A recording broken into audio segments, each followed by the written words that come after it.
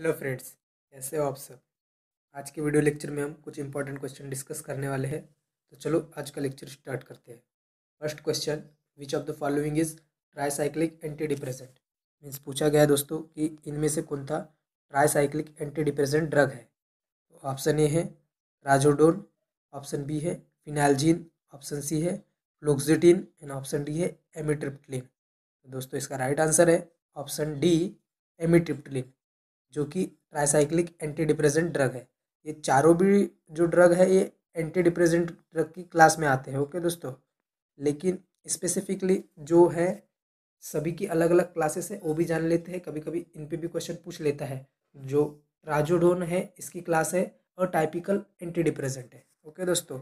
And जो phenelzine है, इसकी क्लास है mono oxidase inhibitor okay and जो फ्लोक्जेटिन है, इसकी क्लास है सिलेक्टिव सेरेटोनिन रीअपटेक इनिबिटर है। ओके दोस्तों, ये आप याद रख सकते हैं। नेक्स्ट क्वेश्चन देखते हैं। Question number two acetyl salicylic acid is means पूछा गया है दोस्तों कि एसिटाइल सैलिसिलिक एसिड क्या है? Option A nalidixic acid option B mefenamic acid option C aspirin and option D sulindac दोस्तों, इसका राइट आंसर है ऑप्शन सी एस्प्रिन एस्प्रिन को ही एसिटाइल सैलिसिलिक एसिड कहते हैं और ये यूज़ होता है एज अ पेन रिलीफ ये पेन को रिलीफ कर देता है एंड फीवर को कम करता है एंड इन्फ्लामेशन को कम करता है और ये एज ए नसेड के रूप में यूज़ करते हैं non steroidal anti inflammatory okay दोस्तों, ये चारों भी ड्रग उसी की कैटेगरी में आते हैं। आप ये याद रख सकते हैं। नेक्स्ट क्वेश्चन देखते हैं। Question number three the crude drug with the Latin name Withania somnifera पूछा गया दोस्तों कि इनमें से ऐसा कौन सा क्रूड ड्रग है जिसका लेटिन नेम विथानिया सोमनीफेरा है? Option A, brahmi, option B, ashwagandha, option C, hyoscyamus and option D, ipecac. तो इसका राइट आंसर है। Option B, ashwagandha. अश्वगंधा इसका राइट आंसर है। ओके दोस्तों तो अश्वगंधा का नाम है इटालियन नेम विथानिया सोमनीफेरा। कभी कभी इसके साइनोनेम पूछ लेता है तो विथानिया रूट है ना दोस्तों? इसका विथानिया रूट ये आप याद रख सकते हैं और अनादर साइनोनेम है, उसे भी आप याद रख सकते हैं। Indian ginseng, poison gooseberry and winter cherry, okay? And जो बाकी के ड्रग है, इनके बारे में भी जान लेते हैं। ब्राह्मी ब्राह्मी का इटालियन नेम है दोस्तों। बोपा मोनेरी बोपा मोनेरी, और इसके साइनोनेम है सोमवली एंड सरस्वती, ओके दोस्तों? हायोसमस है, इसका इटालियन नेम है, हायोसमस नाइगर। हायोसमस नाइगर, इसका साइनो नेम है हेनबन ओके दोस्तों इपी क्या का लेटिन नेम है? कैरापाची इपिकॉन्ना, और इसका साइनो नेम है, इपिकॉन्ना रूट इपिकॉन्ना। ओके दोस्तों, नेक्स्ट क्वेश्चन देख लेते हैं। Question number four, the disease caused by entamoeba histolytica. यानी पूछा गया है दोस्तों, ऐसा कौन सा डिसीज़ है जो कि कॉज्ड होता है इंटामोइबा हिस्टोलिका पैरासाइट के द्वारा? Okay option A malaria option B trypanosomiasis option C amoebiasis option D filariasis इसका राइट आंसर है ऑप्शन सी अमोबियासिस ओके दोस्तों अमोबियासिस ही इंटाइमोबा हिस्टोलिका पैरासाइट के द्वारा कॉज्ड होता है। और बाकी के डिसीज़ के बारे में जान लेते हैं ये कौन से कौन से बैक्टीरिया के द्वारा कॉज होते हैं, जो मलेरिया है, ये प्रोटोजोआब जीनस प्लाज्मोडियम के द्वारा होता है। उसमें प्लाज्मोडियम के टाइप से वेरियस फोर टाइप्स होती है generally plasmodium falciparum plasmodium vivax plasmodium ovale and plasmodium malariae okay दोस्तों ट्राइपेनियोसोमियासिस ये इसे स्लीपिंग सिकनेस भी कहते हैं। ओके ये आप याद रख सकते हैं। And it caused by trypanosoma brucei okay दोस्तों देन मोइबियासिस तो आप जानते हैं इंटाइमोबा हिस्टोलिका के द्वारा होता है। एंड जो फ्लेरियासिस है, ये इन्फेक्टेड बाय होता है round worm filarioidea types okay दोस्तों, आप ये याद रख सकते हैं। देन नेक्स्ट क्वेश्चन देखते हैं। Question number five the component of tablet machine which control the shape and size of tablet is means पूछा गया है दोस्तों कि इनमें से शेप एंड साइज़ टेबलेट के सेप एंड साइज़ को कौन कंट्रोल करता है? तो option A is hopper option B is dies option C punches option D cam track तो दोस्तों इसका राइट आंसर है ऑप्शन बी डाइस डाइस ही टेबलेट के सेप एंड साइज़ को कंट्रोल करता है। तो बाकी के एग्ज़ाम्पल के बारे में जान लेते हैं कि बाकी के इनका क्या फ़ंक्शन है पार्ट्स का। जो हॉपर होता है ना दोस्तों, ये होल्डिंग एंड फीडिंग ग्रैनुल्स को करता है यानी ग्रैनुल्स को पकड़ के रखता है और उसको फ़ीड करने का काम करता है। डाइस का तो यूज़ आप जानते हैं कि सेप एंड साइज़ का प्रदान करता है। एंड जो पंचेस होता है, ये पंचेस क्या होता है? Use for compression of granules with die. यानी डाई की सहायता से कंप्रेशन करने के काम में आता है, ओके? एंड जो कैम ट्रैक होता है, ये कैम ट्रैक क्या करता है? गाइड करता है movement of punches. Movement of tracking punches यानी पंचेस को एक कंट्रोल करने का वे है इसका काम ट्रैक का। और एक कभी कभी पूछ लेता है दोस्तों टरेट्स टरेट्स के बारे में भी पूछ लेता है कि टरेट क्या करता है। तो ये टरेट जो है, ये होल्ड करता है किसको? अपर एंड लोअर पंचेस को। ओके दोस्तों, ये आप याद रख सकते हैं। टेबलेट मशीन के बारे में कभी कभी क्वेश्चन पूछ लेता है।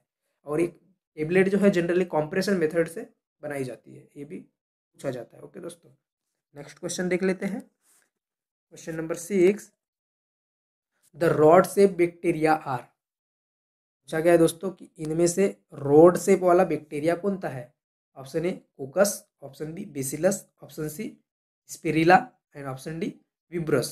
तो इसका राइट आंसर है दोस्तों, ऑप्शन बी, बेसिलस। बेसिलस को ही रोड सेप बैक्टीरिया कहते हैं। आपके स्क्रीन पर एक डायग्राम आ रही है दोस्तों, उसे देख लो, उसमें से सभी सेप के बैक्टीरिया है। ओके दोस्तों नेक्स्ट क्वेश्चन देखते हैं। Question number seven the cell enclosed by plasma membrane composed mainly of means पूछा गया है दोस्तों, जो सेल है, ये इनक्लोज्ड होती है प्लाज्मा मेम्ब्रेन से और उसमें मेनली क्या होता है?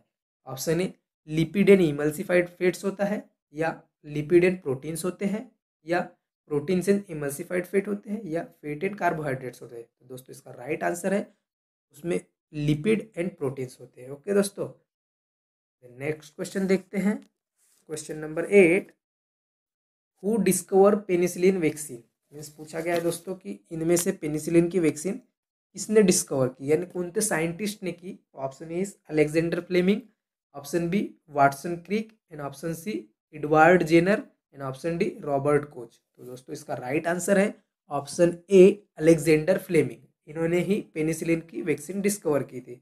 ओके दोस्तों तो बाकी के साइंटिस्ट के बारे में जान लेते हैं कि उनने क्या डिस्कवर किया उनने क्या खोजा। तो जो वाटसन एंड क्रिक है इनने डीएनए की खोज की थी दोस्तों।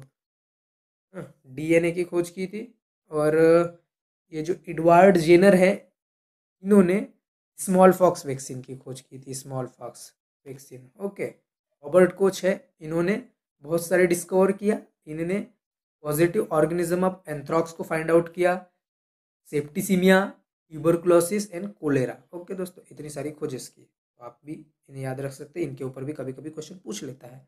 नेक्स्ट क्वेश्चन देखते हैं। Question number nine vitamin tablet are generally formulated as means पूछा गया है दोस्तों कि विटामिन की टेबलेट है, वो जनरली किस इसमें फॉर्मुलेटेड की जाती है? किस टाइप की टेबलेट में फॉर्मुलेट की जाती है? तो इसका राइट आंसर है दोस्तों। पहले ऑप्शन देख लेते हैं। Hypodermic tablet B sublingual tablet option C effervescent tablet and option D chewable tablet. तो दोस्तों, इसका राइट आंसर है ऑप्शन डी च्यूएबल टेबलेट, जो विटामिन की टेबलेट जनरली च्यूएबल टाइप में होती है। हमने कोरोना भर में बहुत सी टेबलेट यूज़ की थी जिसमें मोस्ट फ़ेमस विटामिन सी की टेबलेट आती थी, लिम सी करके। ओके दोस्तों, बहुत ही ज़्यादा डिमांड थी उसकी। नेक्स्ट क्वेश्चन देख लेते हैं। Question number ten one among the following is a volatile oil containing crude drugs means पूछा गया है दोस्तों इनमें से कौन सा एक फ्रूट ड्रग है जो कि ओलाटाइल ऑयल को कंटेन करता है? तो option A is chirata, option B cardamom, option C linseed and option D myrobalan. तो इसका राइट आंसर है दोस्तों ऑप्शन बी कार्डेमोम। कार्डेमोम ही ओलाटाइल ऑयल कंटेनिंग करता है। ओके दोस्तों तो बाकी के ड्रग क्या क्या कंटेन करते हैं वो भी जान लेते हैं। यानी मेन कंस्टिट्यूएंट उनका क्या है?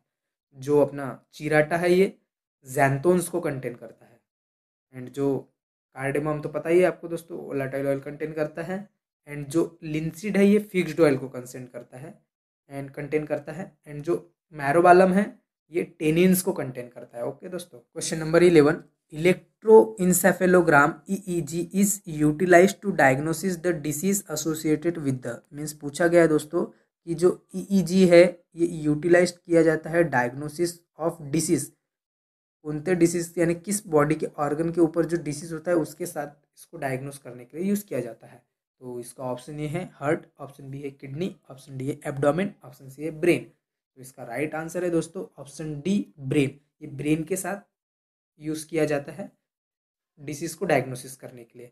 और जनरली ये जो इलेक्ट्रो इंसेफेलोग्राम जो है, ये टेस्ट की जाती है डिटेक्ट किए करने के लिए abnormalities in brain brain wave, यानी ब्रेन के अंदर में जो वेव होती है उसकी एबनॉर्मलिटीज को डिटेक्ट करने के लिए इसको यूज़ किया जाता है एंड जो जनरली ये इलेक्ट्रिक एक्टिविटी को मेज़र करता है ब्रेन की। ओके दोस्तों, ये आप याद रख सकते हैं। आपकी स्क्रीन पर एक इमेज आ रही है, उससे आप समझ सकते हैं कि किस प्रकार का होता है ये। देन नेक्स्ट क्वेश्चन देखते हैं दोस्तों। The hormone involve in the secretion and regulation of milk means पूछा गया है दोस्तों कि ऐसा कौन सा हार्मोन है जो कि इन्वॉल्व होता है secretion and regulation of milk में। तो option is T S H option B F S H option C thyroxine and option D prolactin तो इसका राइट आंसर है दोस्तों ऑप्शन डी प्रोलेक्टिन प्रोलेक्टिन ही रेगुलेट करता है सिक्रेशन ऑफ़ मिल्क को। ओके दोस्तों, ये हार्मोन है। ओके तो बाकी के हार्मोन के बारे में भी जान लेते हैं।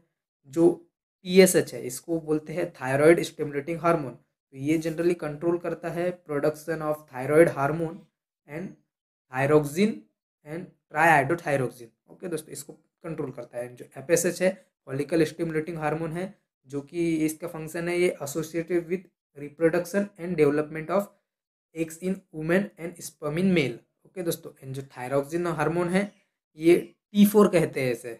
आप याद रख सकते हैं इसे? टी फोर कहते हैं। जो कि एक वाइटल रोल प्ले करता है in digestion heart muscle function and brain development and maintenance of bone में। ओके दोस्तों, आप ये याद रख सकते हैं as additional information thank you please like share and subscribe for more information thanks for watching